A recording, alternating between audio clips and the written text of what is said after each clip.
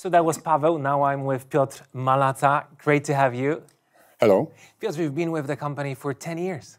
Yes, it's uh, already it's almost 10 years. I will have the exactly 10 years in March.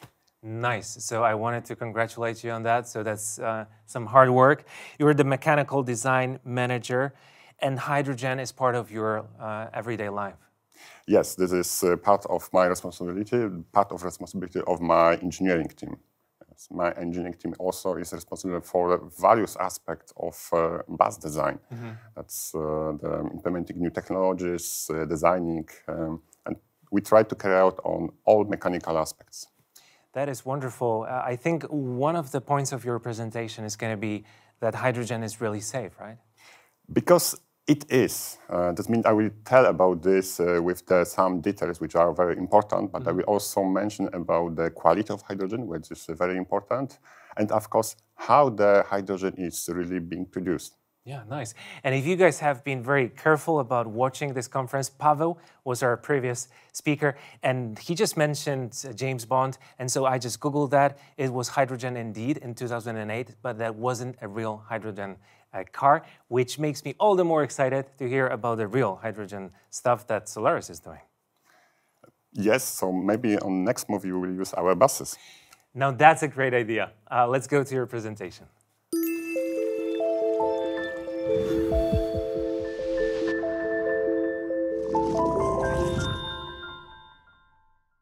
In the industry, we can often hear about the gray, blue, green, yellow, red, or even pink hydrogen. Are there really so many shades of hydrogen? There are in fact color codes, which are used by the energy industry to distinguish between the methods of hydrogen production. So which color is the greenest one? Which one drives hydrogen buses in the most efficient way? And finally, how is the hydrogen being produced? Let's come to the hydrogen colors. We will start with the gray color because that is the color of over 95% of world hydrogen production. Gray hydrogen is produced using the steam methane reforming process, SMR. In this reaction, natural gas or methane is reacted with steam at an elevated temperature to produce hydrogen and the carbon monoxide. We use it in a subsequent process. The water gas shift reaction reacts additional steam with the carbon monoxide to produce carbon dioxide and additional hydrogen. We can see that the effect of the process is not only hydrogen, but also carbon dioxide, generating an obvious carbon footprint. The second part is the carbon footprint associated with the individual process units. Steam must be generated, reactor must be heated, etc. Of course, at this point, we see that the hydrogen produced in this way is not really clean but we must also remember that even in this process, the carbon footprint per one kilowatt hour energy stored in hydrogen is up to three times smaller than the energy production in the coal power plant. So, is there any more environmentally friendly way of producing hydrogen? Now we can come to the blue hydrogen which is produced mainly from the natural gas using the same SMR process. However, the CO2 is captured and stored underground, CCS process. There are also companies who try to utilize this carbon in the process called carbon capture, storage, and utilization. But it is not so common this time. Blue hydrogen is sometimes described as a low carbon hydrogen, as the steam reforming process doesn't actually avoid the creation of greenhouse gases. The third, the most ecological shade of the hydrogen that I want to present you today is the green one. Green hydrogen is produced by the electrolysis of water, meaning the breakdown of the water molecules into the two individual elements, hydrogen and oxygen. What is important, only electricity from the renewable energies is used to carry out the processes. And in this way, no CO2 is produced, making the generated hydrogen neutral to climate. This is how hydrogen should be ideally produced. There are also other colors of hydrogen, like black, brown, white, or pink, which are connected with other production methods.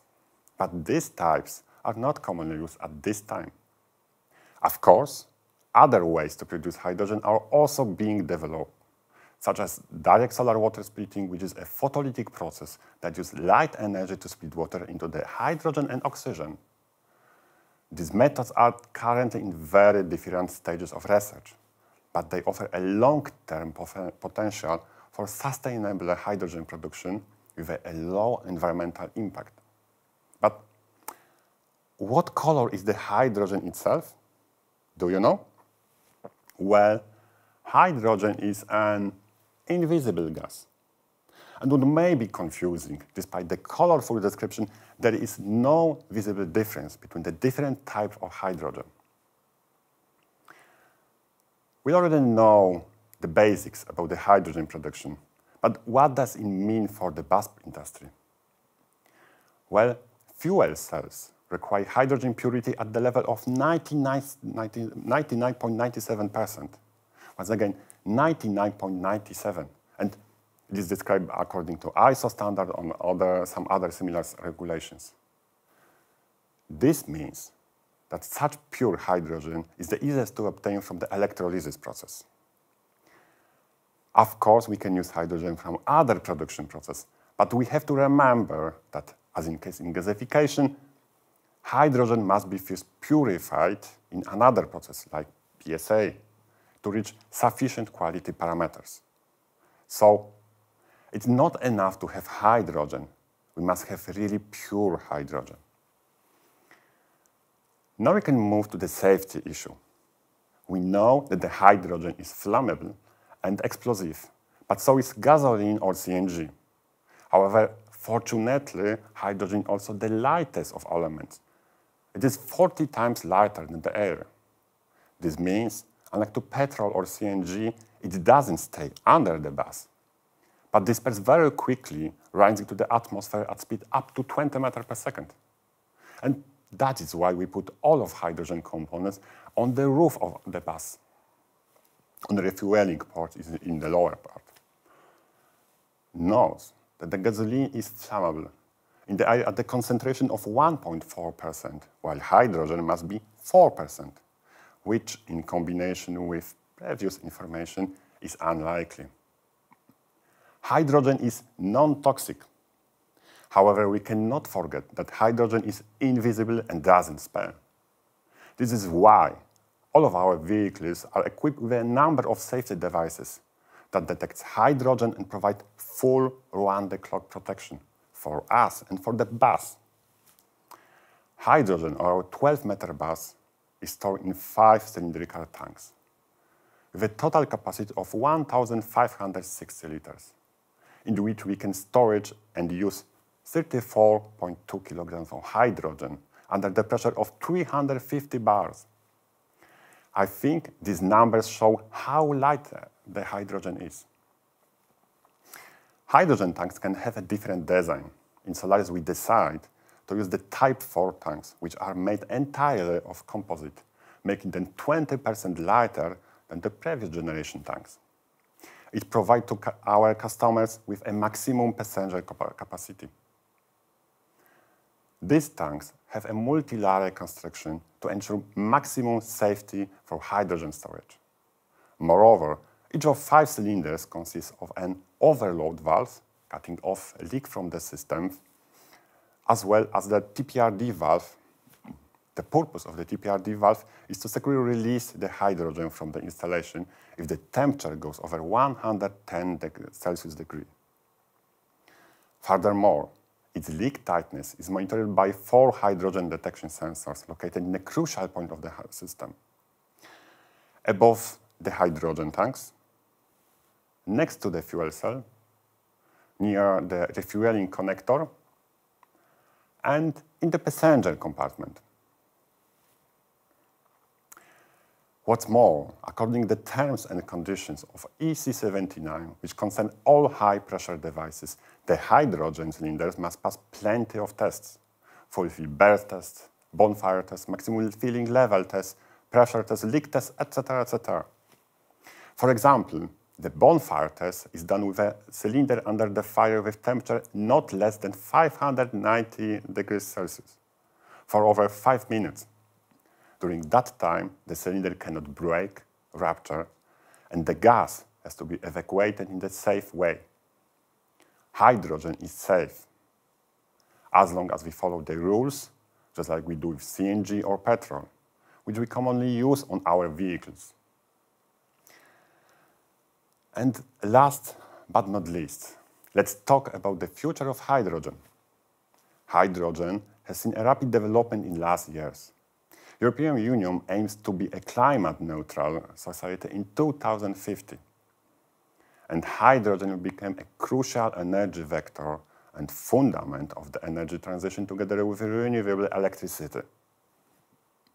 Hydrogen is one of the key factors to the decarbonization, of heavy industries, heating, and transport. Hydrogen is also a universal energy carrier. It can be used as an energy storage, and it would allow to increase energy efficiency. In February 2019, Fuel Cells and Hydrogen Joint Undertaking Organization released the Hydrogen Roadmap Europe.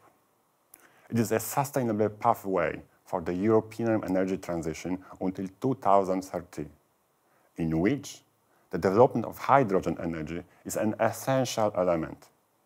As you can see, among milestones on the roadmap, we can find, for example, 3.7 million um, passenger cars and 45,000 fuel cell trucks and buses. According to another predictions, the development of hydrogen technologies will bring significant savings in final energy demand reducing CO2 emissions, creating new markets, and securing sustainable employment in Europe.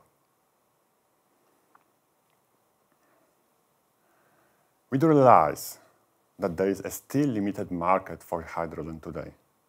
But Europe is a leading hydrogen technology, and European companies and knowledge institutions can be a key element in advancing technological development. It seems highly probable that hydrogen will become a fuel on which the development of electromobility will expand. Having in mind what I have just said, and what you could hear in the previous presentation, I strongly believe that the hydrogen, together with battery solutions, power the future of the mobility. Thank you very much.